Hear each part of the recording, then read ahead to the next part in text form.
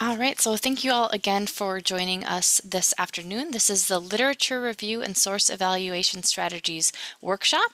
Um, our presenter today is Dr. Amanda Hoffman with the Education Psychology, Leadership and Higher Education Department.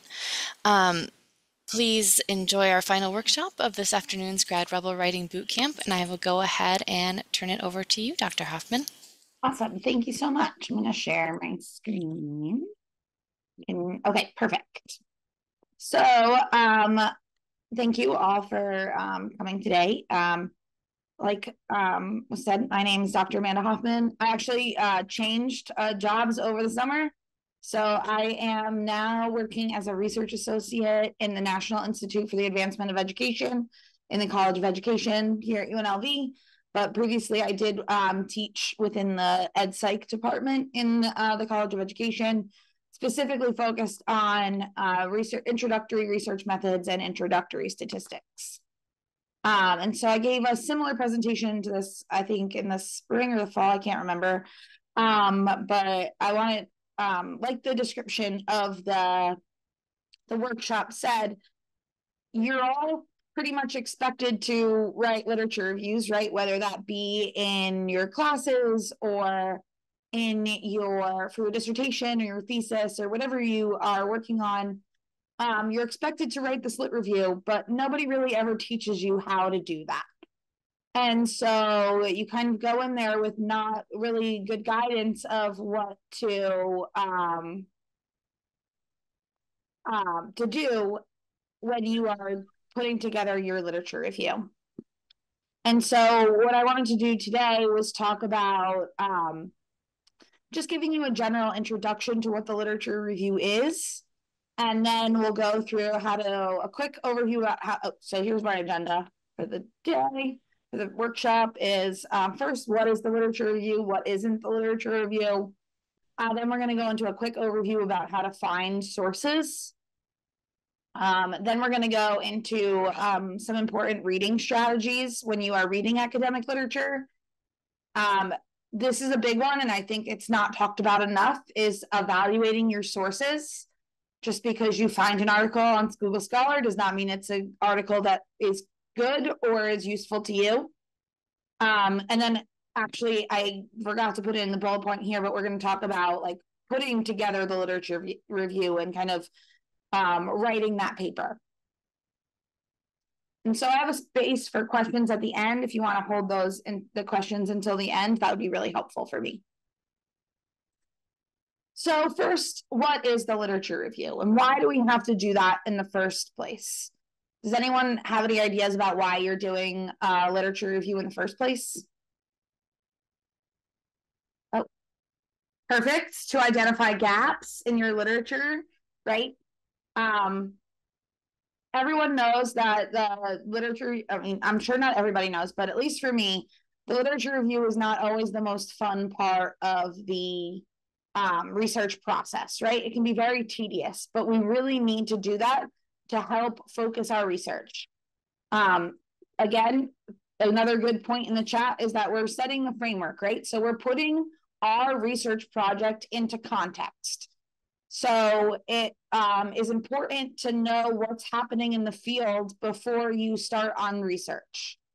Um, so you need to know what kind of questions are other people in your field asking? Um, what kind of um, methodologies are they using in the past? Um, so that way you can then, like you said, identify those gaps in the literature where your research will be important. And so a big part of that too is that um, you want to know what other people are doing so that you don't recreate the wheel, right? Research is a very time, labor, and cost intensive process.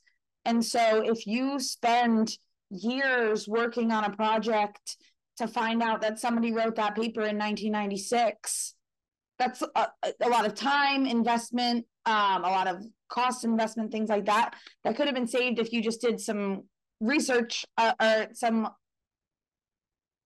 depth of uh, analysis in the literature in your field. And so um, I know that's personally a bigger pet peeve of mine is that we don't often publish non-significant results, so results that don't get that reach that 0.05. Um, significance level if you're doing statistical analysis. Um, but there could be um, other places that you might find that literature, whether it be in a conference paper presentation or in grey literature, things like that, so that you are finding um, all the all the previous work done on your field, so you know uh, where to start. Um, and so there's different types of literature reviews. So the one that you probably would be doing most often is a narrative literature review. That's that second part. That's really just going through the the studies that have been done on and kind of giving the story, telling the story of your field and your research question and your research problem. And so you were again uh, just going through and looking at um, what's happening currently and what's happened in the past in the fields. A systematic literature review is a little bit more in-depth process where you're really trying to find the most important papers that um, and really trying to dig down deep into your topic, not just giving the general overview, but really digging deep down into answer. So the systematic literature review uses the review of the literature to answer a question. Whereas the narrative literature review is just telling the story. A meta-analysis is similar to a systematic review. Here, though, you're going one step further is, and you're taking the literature and you're doing a statistical analysis on those results to say what is the average effect of whatever. Maybe it's an intervention that you're doing. Maybe it's a uh, you want to understand what's the average increase in um, motivation over time things like that so uh, the um, the meta-analysis takes that systematic review and takes it one step further to add in that statistical analysis. Another type is a critical literature review. And so here you're really, like the, the title explains, you're being critical of the field and of the studies that you're uh, putting into your literature review. So are they asking the right questions? Are they doing the right methodology? Have they read all the um, important literature, things like that, and making sure that you are um, telling the story with a more critical lens. And then the another big one is looking at theoretical a theoretical um, literature review. So uh, my uh, substantive background is in academic motivation. And so a theoretical literature review would look more at the um, the theory driven papers rather than the empirical driven papers. So we're really digging down into what does it mean to um, for to define self efficacy, to define um, self determination, things like that. Really defining the theory and an integrative uh, literature review will kind of combine those theoretical papers and the um, empirical papers and kind of get more towards that narrative um, literature review. And so, a big part of understanding the literature review is understanding what the literature review is not.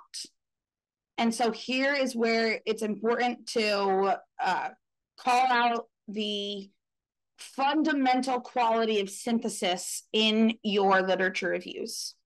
So, um, when I'm teaching my introductory research methods class um, in the past, what I've seen a lot is that people will think of a literature review almost in what my uh, instructor taught me when I was in my uh, master's program was um, she called it book report style.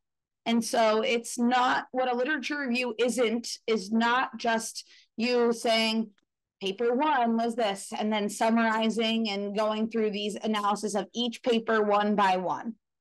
Instead, you need to be able to synthesize your literature. You want to bring all your ideas together and say that uh, papers one, two, and three said this about my topic, while paper four said something totally opposite. And so you are not necessarily, like I said, not just one by one bullet pointing about the the literature that you've read, but really integrating you, what you've read and said this article A really informed the research that article b did. And so um, again synthesizing is a big big big part of writing a literature review and so how will this help you in your research? So like we said before it will help you to identify gaps in the literature where your research can fit. And we will talk a little bit later about the structure of the literature review and what it should look like.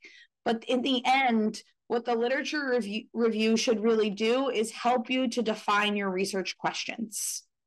You might go into the literature review thinking that you want to ask a specific question, but you might find that that's already that research question has already been answered. And so maybe you need to answer it in a different way or you need to slightly mm, tweak that research question based on what you found during the literature review again it will also not only help inform your research questions, but it will help inform your research methodology. So maybe you're interested in understanding, again, I come from the education side, and my other substantive interest is in um, uh, college athletes.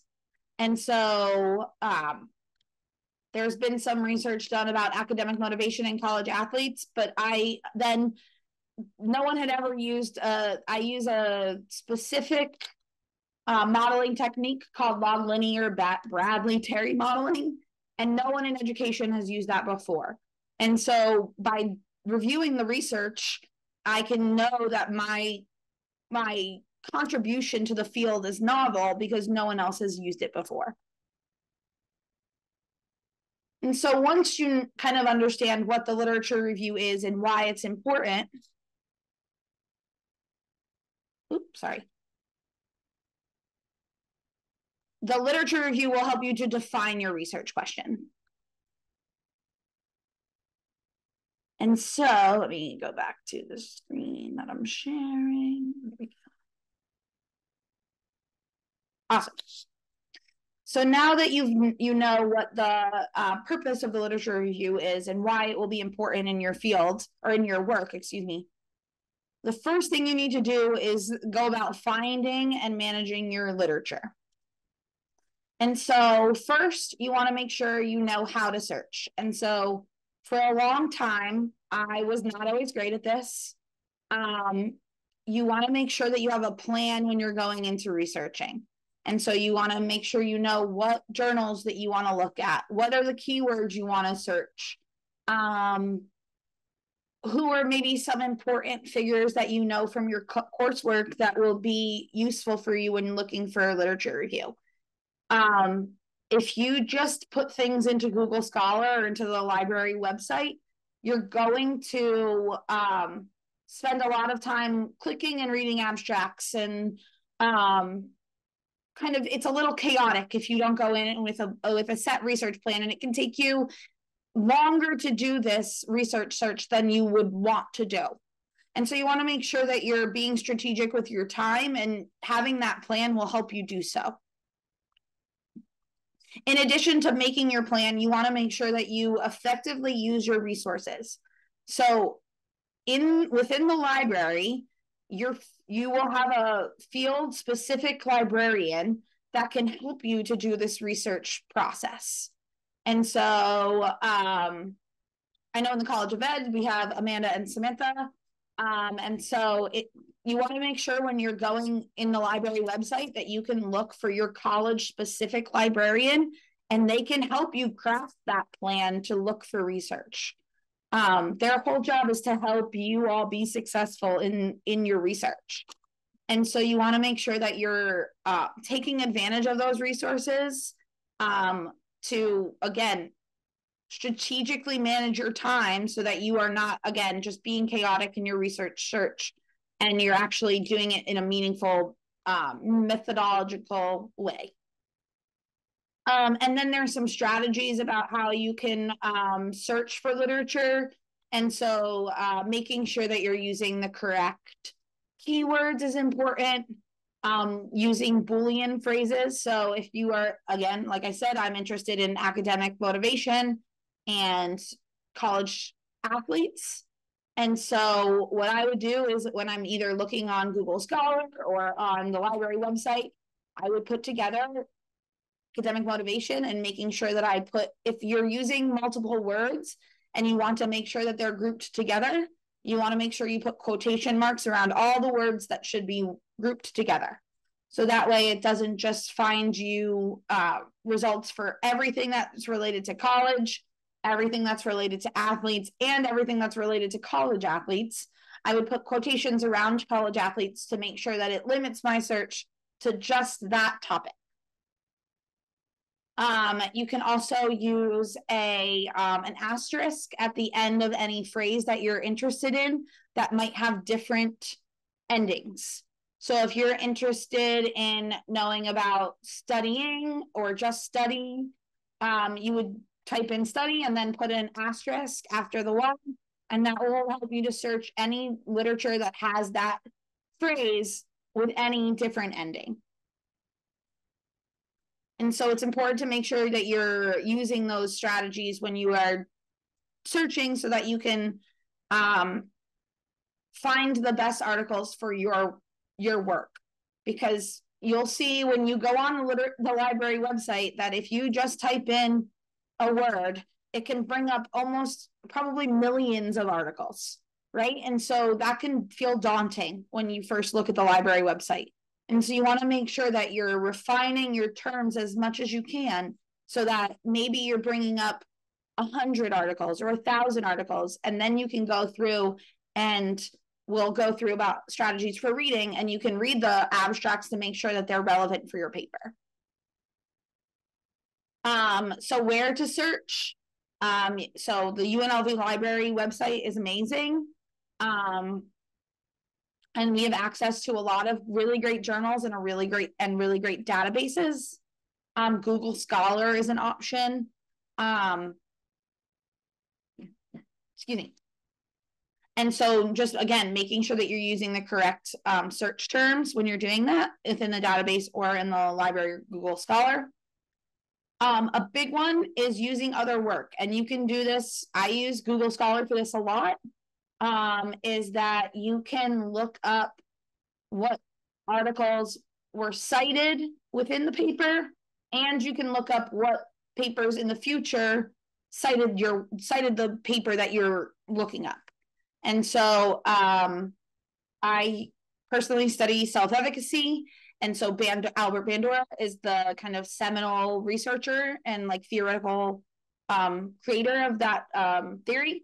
And so I would look up his 1977 book about um, self efficacy, and then there's a button that says cited by 50,000 or however many people have cited his work. And then I can look through those articles. And on Google Scholar, once you've clicked on the cited articles, you can then search within those cited articles for even a more specific topic. Um, once you've found your literature, um, how do you go about managing it? Um, citation managers can again be very, very helpful in uh, managing your time and managing your cognitive load. Um, I am not great at this, um, to be honest. I am still a person that uh, looks up everything and types up my citations um, uh, paper by paper that's not always great, right? So um, using something like Zotero or Mendeley or EndNote can really be helpful for you to um, when you're putting all of your so every time you write cite in your paper as you're writing it you can then go back and make sure that you're citing the right piece of literature and a lot of them have integrations with uh, microsoft word i know i used mendel i use mendeley and mendeley has a really good um, integration with Microsoft Word that whenever I type uh, a parenthetical citation, once I type that, I once I click that from the integration, I can just go down to the end of the paper and there's an option up at the top that says like pre-populate my bibliography or my reference list based on what I've cited in my parenthetical citations. Um, so that can just be really helpful for you when you are um, maybe trying to finish a paper at the last minute and you need to finish your research list. I know that I procrastinate on my reference list. Um, and so those kind of tools can be really helpful when you're managing your citations and your literature. but also either within the uh, citation manager, a lot of times you can do annotations straight in your um, citation manager, or if it makes more sense to you to create a, uh, an Excel spreadsheet that has all of your papers with these annotations. Annotating is very important when you're trying to organize your literature. You want to put together maybe a one or two paragraph summary of what the paper was talking about, the main the main points, maybe the sample that they used, the the methodology that they used, things like that. So that way, when you are referencing uh, or trying to remember, oh, was it Bandura 1977 or was it Bandura 1985? Which paper do you need to cite? You can go either in your annotation, in your citation manager, or in your Excel spreadsheet and find the exact paper that you're looking for once you've found the literature, the next uh, hardest thing is um, reading it, right? So, reading articles is not an easy task, especially if it's not something that you're used to or something that you haven't done in a really long time. Um, and so the first thing that you want to recognize is the structure of academic articles. And so the one that is used most often is what's called IMRAD, so the I stands for the introduction, M is methods, R is results, and is the little a, and D is the discussion. And so most academic articles that you read will follow this structure. And so once you you know what to identify, then you can go into these strategies for reading. And so the first thing is the reading order. And I think there's a number of different ways that you can go about reading an academic article. And again, you have to do what makes sense for you. What I would say is to not read word for word from top to bottom, especially as a new researcher and especially as somebody who's reading articles for the first time. Um, reading word for word, top to bottom, will not only take forever, but it will also probably confuse you because if you're taking um, maybe for like my students who are taking research methods set one oh uh, their introductory research methods class they've never taken an introductory stats class. They've never done an introductory qualitative methods class things like that. So when they get to the methodology section it can be overwhelming and frustrating to read because it can be confusing. And so you want to make sure that you read in an order that um, doesn't overwhelm you like that. And so, what I personally like to do is I like to read the introduction first, then I read the um, conclusion or the discussion, whatever they have in their paper. Um, then I like to go back up to the methods and the results. Um, and then I personally like to read the abstract last to see if it matches what I am, um, what I've already read. Um, but again, you have to kind of make the decision that works best for you. A lot of people will say read the abstract first, then go into the introduction, the discussion, the methods, and the results. Um, and so sometimes uh, um, I like to read methods before results because I want to make sure that the results match what they said they were going to do in the method section. But again, if you are not familiar with those methods yet, sometimes reading about a log linear Bradley Terry model or a, a structural equation model or a, a phenomenological uh, analysis of uh, qualitative results can be again confusing because you're not sure what that means. And so if you just want to read the results after the discussion, that would that you can see why they're making the points they made in the discussion based on their results. Um, I would uh, argue to skim the the article first before you do any deep reading. Um, not only to make sure that the article is important for your work, you don't want to spend hours reading something and and then find out that it really isn't applicable to your work at all. Um, I think people are getting a lot better at coming up with interesting article names, and so they're almost clickbaity in a way that they come up with this really cool article um, title and then you read the abstract and you're like, actually, this has nothing to do with what I want to do or what I want to talk about. And so you want to make sure that you're at least reading things to make sure that it is important for your work. um, skimming that, and then going in for a second Passover to do some deep reading. Um, again, pinpointing the main points, and this can be where you do your annotation. Um, again, a quick summary of what their they were, what was their question, what did they say about that, well, how did they answer that question, and um, how does it relate to the other uh, research that's already being done, and that's where the the discussion will come in. Um, and then the big piece here is intentional highlighting. I, when I first started my grad program, I, and even an undergrad, I think I just highlighted because I thought that I needed to highlight.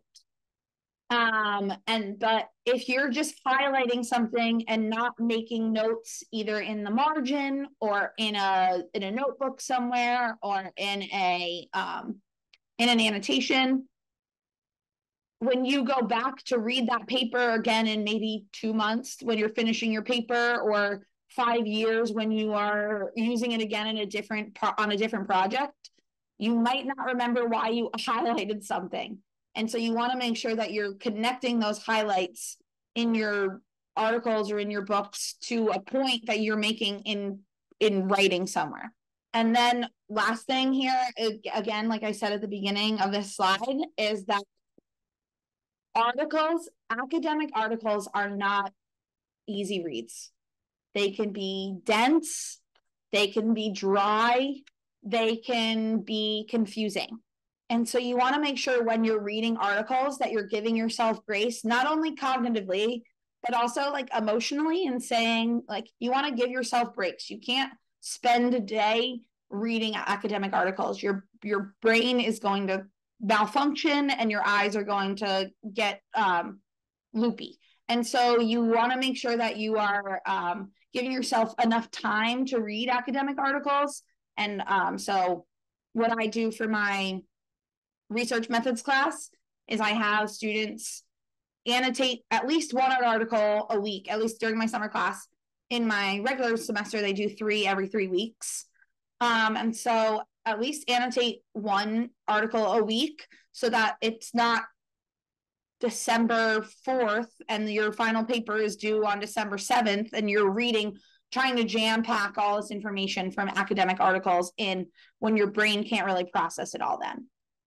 Um, but also giving yourself grace kind of emotionally to say, this person who wrote this academic article might have been working in the field for 20, 30, 40 years, right? And so they really know what they're talking about and they've studied this a lot. And so if you don't understand it on the first pass, that's okay. You you it's it if you do, that's great, but it it it might not hit the first time. And that's okay. So maybe you set it down for that night and you come back to it later in the in the, in a week or in a few days and say, okay, let me give my brain some time to process this and then we'll come back to it later when you are reading and after you are reading, you want to make sure that you are evaluating the sources that you are reading. Um, not every article that you read has to go into your literature review all the time, right? And some of them you will read and you'll say, I'll never use this source. Um, and so you want to make sure that you are evaluating them as you read them and after you read them to know exactly your literature review is not better the more articles you use. And so, like in my current summer class, somebody asked me, what is the minimum article length? Like, how many articles do they need to use for their final paper? And so, for me, I don't think it's important to say eight to 10 minimum because a lot of times people will stop at after eight or 10. But really, you want to make sure that you're getting for a class paper, maybe you use less, but when you're writing things like your thesis or your dissertation, you want to make sure that you get a full perspective of what's happening in the field. And so you need more articles. But just including an article to include an article doesn't make sense. And it's going to make your writing look discombobulated almost. And so when you're evaluating sources, the first thing you want to check for is relevance. Again, is this paper connected to my topic? whether that be in a tertiary way or a primary way. Um, you never know from just reading the abstract if it's going to be useful to you, right? And you don't want to discredit articles that might not be useful for your specific purpose on this time, right? You want to, because they might be helpful. There might be something in their methodology section or in their discussion that you can use, whether that be for the topic and the content itself or just stylistically. You can only get better as a writer by reading other people's writing. And so, um, even though it might not be connected to your current topic, it might be related to something that you might do in the future or um, something that you've done in the past. And so you want to make sure when you're deciding what articles to include in your literature review, you want to make sure you use the ones that are very connected to your current topic and your current research question. Um, most importantly, you want to make sure that your sources are credible and reliable and uh, useful. And so the main things that I tell my students to look for when they're evaluating credibility of a source is um, of an article, excuse me, is think about the source where the article is being published. So is it a peer-reviewed journal or is it just somebody's blog? Um, they should make um, mention in their articles if they received funding in any way for the um, for the research project, and so you want to make sure is that is that funding coming from a source that might introduce some bias into the results?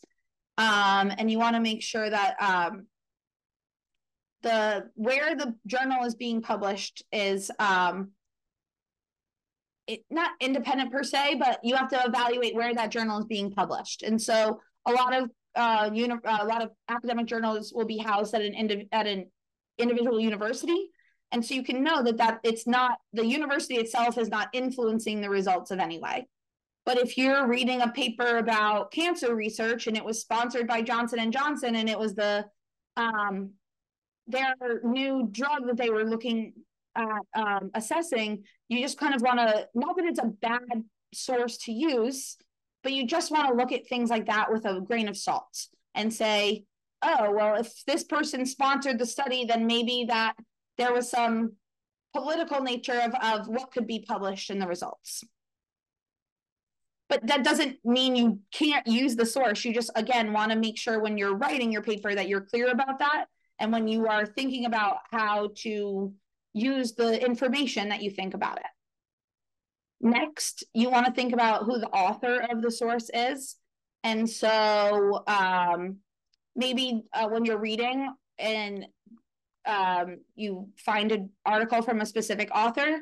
Um, you can go and look at their other things that they've published. Is this the first time they've ever written about a certain topic, or have they been published in multiple other articles talking about the same topic? And that can kind of help you to determine whether that they can they're the expert in the field. Again, it doesn't make the paper bad if it's their first time publishing right? It might be a new early career researcher or grad student.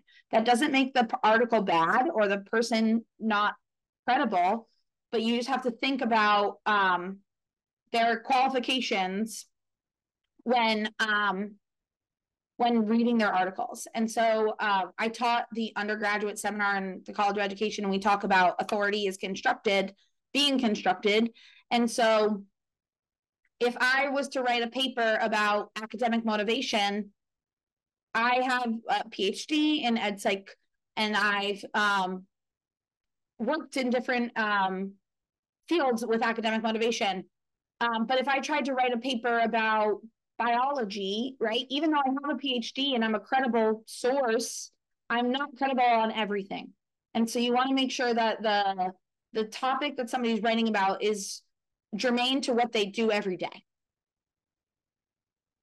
Um, next is the date of the um, uh, the paper that you're reading. Um, I give the suggestion that you want to make sure that most of the literature that you're using is within the last 10 years.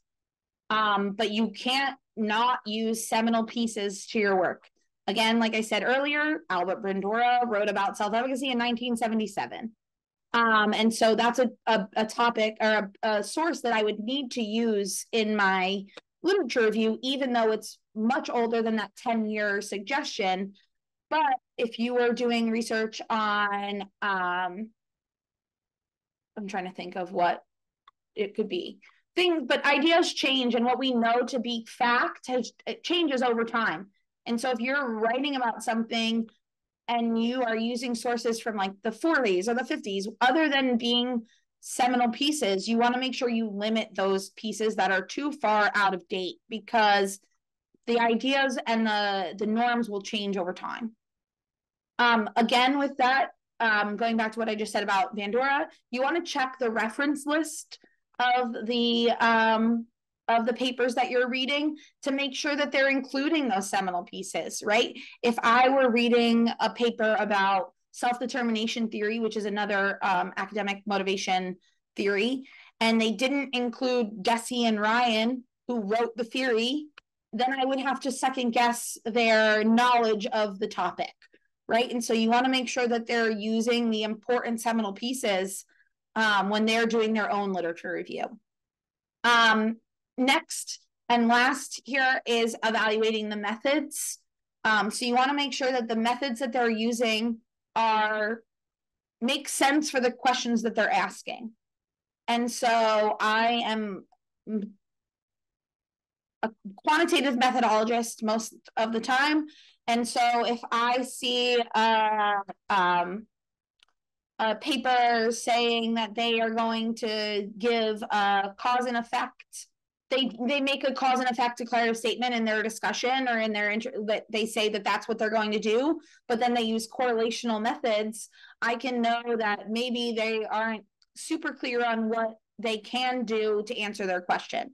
And so again this part of evaluating your sources might be something that you come you are better at evaluating as you advance in your um in your work because if you've never taken stats before, you could not, you might not know if it's an appropriate methodology. But this is where it's important to either talk to an, an older student or your advisor or your teachers from your classes to say like, oh, I read this paper, they said this, and they used this method. Does that make sense? And so if they tell you absolutely not, that doesn't make sense at all, then you can again kind of look at that paper with a grain of salt. And then lastly, once you have found your sources, you've read them, you've evaluated them, you've decided what um, articles you're going to use. And that is not a linear process, right? You could, while you're writing your literature review, you should still be reading the literature to say, oh, maybe this will be part of my, this can be added to my lit review, or um, this makes more sense to include in my research than some other paper that you've already read. It should be a continuous learning process. Um, and so, but while you're writing your paper, um, the first thing you have to decide is um, on what type of paper of literature your review you want to do. So thinking back to that narrative or systematic, theoretical, things like that, and your structure. So I personally, when I'm writing literature reviews, thinking about it, most of the time I organize them thematically. So I say I'm going to write a whole section about academic motivation. Then I'm going to narrow it down to co- college athletes' motivation, things like that. And I approach it thematically.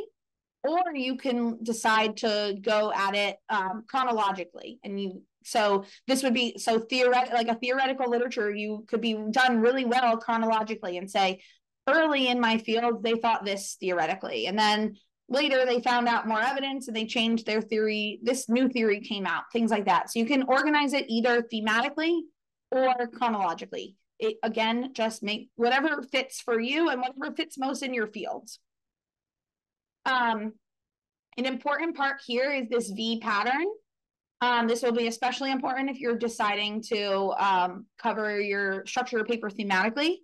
Is you want to start your literature review very broad and say, so again, using my um, research as an example, I study academic motivation. And then you narrow it down and you say, I study academic self efficacy. Then you narrow it down a little bit more and you say, I study academic self efficacy in college athletes. And then um, my dissertation was about academic self efficacy for self regulated learning in college athletes, right? And so you keep narrowing down your focus, and eventually you'll find that by narrowing it down, you'll get this V pattern, and your arrow will almost point exactly and should lead very logically into the research questions that you want to answer.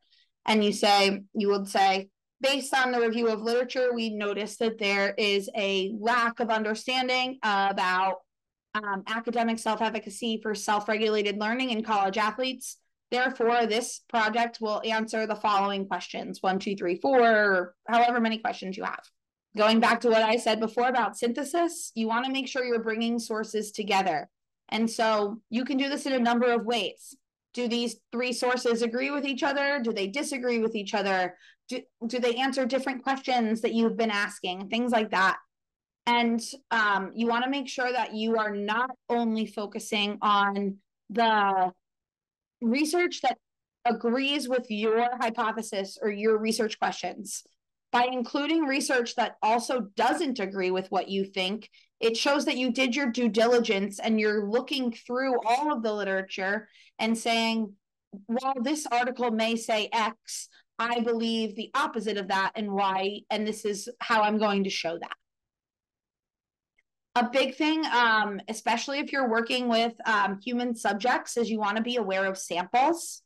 Um, and so if you are writing a literature, again, I, I, I wrote my literature review for my dissertation about um, college athletes and academic motivation, and I found a really great paper, but it worked. Their sample was on fifth to eighth graders, right? And so that doesn't mean I can't include that paper in my literature review.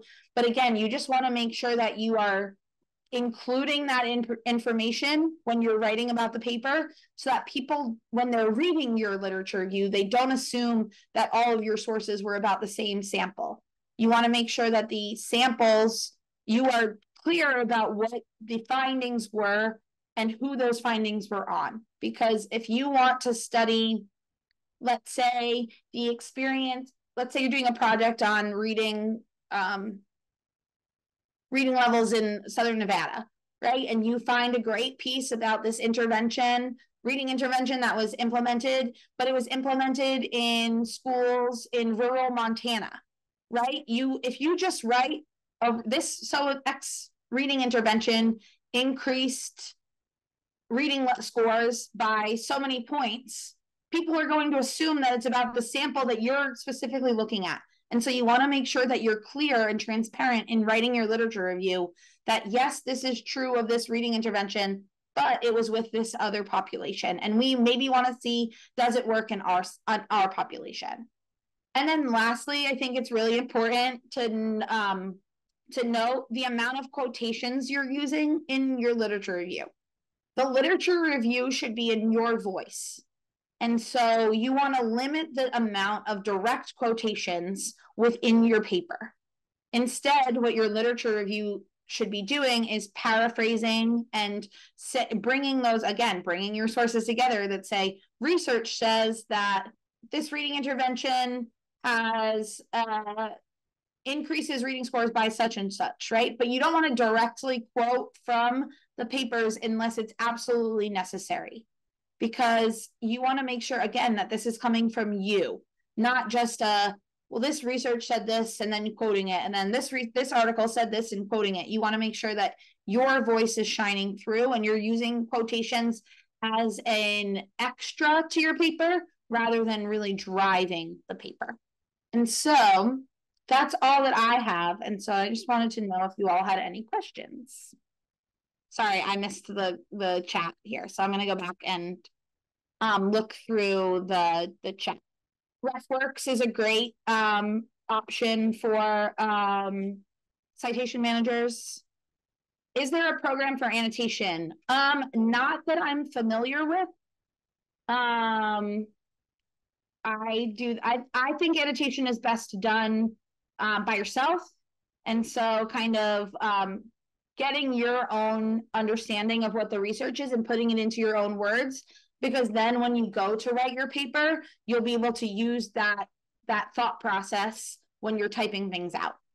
Um not not necessarily i would do it like on word keeping like i keep an excel document that i um that i add to and i so i have the name of the article the name of the journal the name of the author the keywords in different columns and then the annotation. So that two paragraph, um, two or three paragraph uh, summary of the article. So that way it's helpful for me if I want to filter by certain keywords, I can filter all the different columns for whatever I am looking for. How should one approach typos in literature articles that have them? And um, or a few instances of mismatched figures to the figure description. I think I, I can see it from both sides of the typos and the mismatched figures. Like I said, you'll never become a better writer than writing a lit review because you're going to see so many people's style. You're going to see things that people pay attention to, that people don't pay attention to, things that make sense and don't make sense. So, like, I was reading an article once and they said that in their original sample size description, they said that they had, I think, 150 participants. But when you then looked at the table, it only had results, or the, the results of the t test show that they only used data from maybe 90 people. And so you want to, like, those are things that you're going to realize. And it's not to discredit the the author, but it's when you see the methodological, like, um, kind of missteps like that, I think that um, the methodological when you see a methodological error, that that should give you more pause than if you see something like a typo or mismatch figures because I can read something there. You never become a better proofreader than when you submit something to a journal, right? You hit submit and then you're like, oh, I found five more typos, even though you've read it probably 50 times. And so things like that, I think, are not as um, important to note when you're looking at articles but if you see major methodological flaws or um, like that their their figures or their graphs are not clear of what they're showing you, that's something to be more concerned about when you're reading the literature. Uh, sometimes I'm not clear when an article is peer reviewed, but the library and the again use the librarians. They are here to help you. They are amazing. Uh, I haven't met anybody but the two from the College of Ed, and they are amazing. And so um, I can just assume that everybody else is. Um, they know how to help you search. They know how to help you do these evaluations. There's a lot of library guides that you can use when you are doing the research um, searching process, the literature search process, things like that. Just no one is in no one should be in grad like you have a whole community of support around you whether that be faculty members the grad school or the grad college the grad academy your the librarians. Every people here want to see you succeed and so using those resources is super important. A big thing just to re harp on this the most is that one there's tons and tons and tons and tons. Like i said you if you put in college athletes i bet you a million articles would come up that doesn't make every one of them good. Just because it's published does not mean it's good. Just because it's published doesn't mean that I need to include it. And so you want to make sure that you are intentional with your literature review to make sure that you're putting out the best research project you can. All right great note to end on. Thank you so much for being here with us, Dr. Hoffman. I hope you all learned a lot, and I think I'll just reiterate what what you said and what others have said is like you have so many resources on campus to support you, and hopefully a part of this week is enhancing exposure to some of those. Um, so thank you all for joining us, and um, I am going to go ahead and stop recording in a moment here. This will be available on YouTube and we'll also add it to your web campus course so that you can access it if you need to go back and, and review anything um, in the future. So thank you all again. I'm going to do that right now. Thank you all for coming. If you need anything, um, it, my email is just amanda.hoffman at unlv.edu. Thank you.